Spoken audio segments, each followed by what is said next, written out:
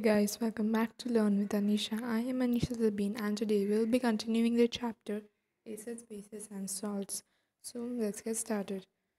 So, so far we have talked about acids, have talked about bases, indicators and under indicator litmus, turmeric and China indicator.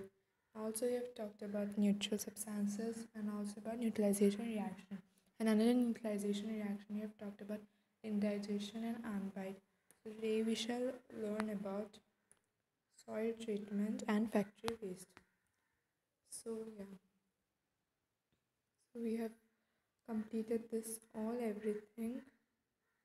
They will be doing soil treatment. So farmers they some uh, they use fertilizers to increase the crops to increase the growing of the plants.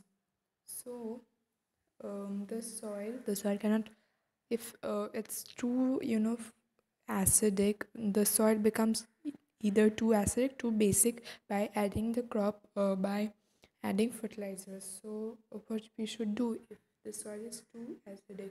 So if the soil is too acidic slaked lime which contains calcium hydroxide and quicklime which contains calcium oxide can be added to it if the soil is too basic then organic matter or some manure can be it can be treated means organic matter जैसे vegetable peels then um, you know some biodegradable waste. So biodegradable waste can be uh, you know help to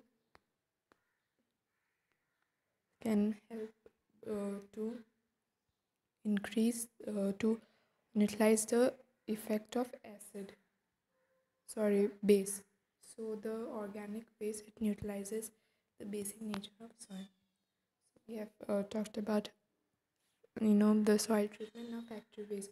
The waste discharged by factories contains a lot of acid. So the waste which is discharged by the factories they contain a lot of acid.